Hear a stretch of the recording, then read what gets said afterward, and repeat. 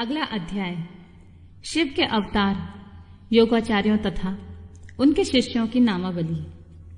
श्री कृष्ण बोले, भगवान, समस्त युगावर्तों में योगाचार्यों के व्यास से भगवान शंकर के जो अवतार होते हैं और उन अवतारों के जो शिष्य होते हैं, उनका वर्णन कीजिए।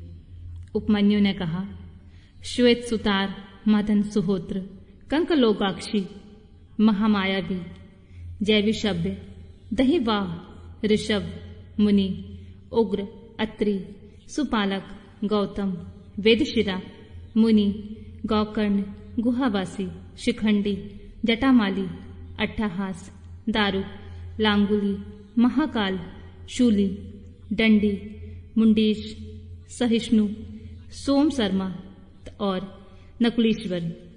ये बारह कल्प के इस सातवें मनवंतर में युग क्रम से अट्ठाईस युगाचार्य प्रकट हुए। इनमें से प्रत्येक के शांत चित्त वाले चार चार शिष्य हुए, जो श्वेत से लेकर ऋषि पर्यंत बताए गए हैं। मैं उनका क्रमशः वर्णन करता हूँ।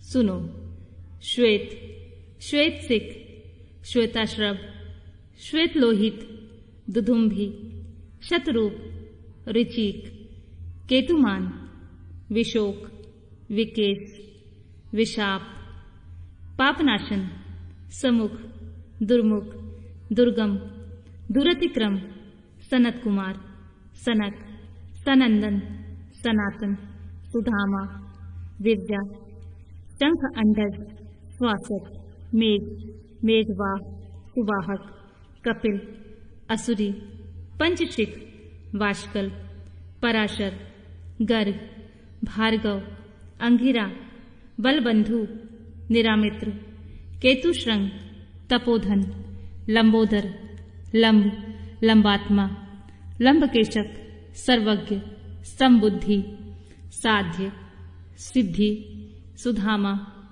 कश्यप, वशिष्ठ, विरजा, अत्रि उग्र गुरु श्रेष्ठ श्रवण, श्रविष्टक, कुनि, कुणबाहु, कुशरीर, कुनेत्रक।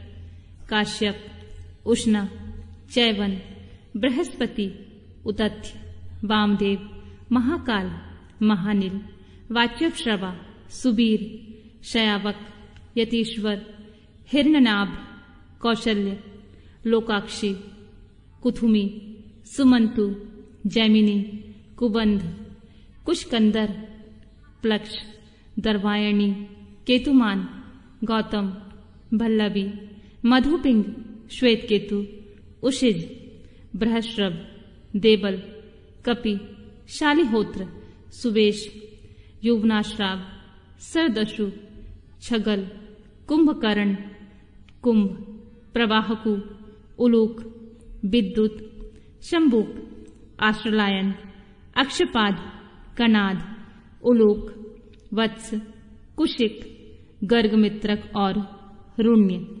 ये योगाचार्य रूपी महेश्वर के शिष्य हैं। इनकी संख्या 112 है।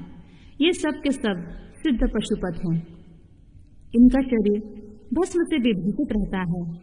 ये संपूर्ण शास्त्रों के तत्वज्ञ वेद और वेदांगों के पारंगत विद्वान, शिवाश्रम में अनुरक्त शिव ज्ञान परायण, सब प्रकार की आशक्तियों से युक्त, एकमात्र भगवान शिव में ही मन को लगाए रखने वाले संपूर्ण द्वंद्वों को सहने वाले, धीर सर्वभूत हितकारी सरल, कोमल, स्वस्थ क्रोध शून्य और जितेंद्रिय होते हैं। रुद्राक्ष की माला ही इनका आभूषण होती है। उनके मस्तक त्रिपुंड से अंकित होते हैं। उनमें से कोई तो शिखा के रूप में जटा धारण करते हैं। किसी के सारे केश ही जटा रूप होते हैं।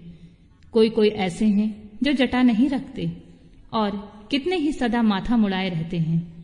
वे प्रारंभ फल मूल का आहार करते हैं। प्राणायाम साधन में तत्पर होते हैं। मैं शिव का भक्त हूँ। इस अभिमान से युक्त होते हैं। सदा शिव के ही चिंतन में लगे रहते हैं। उन्होंने संसार रूपी विश्व वृक्ष के अंकुर को मत डाला है। वे सदा परम धाम को जाने के लिए ही कटिबद्ध होते हैं। जो योगाचार्यों सहित उन शिष्यों को जान मानकर सदा शिव की आराधना करता है। वह शिव का सायुज्य प्राप्त कर लेता है। इनमें कोई अन्यथा विचार नहीं करना चाहिए।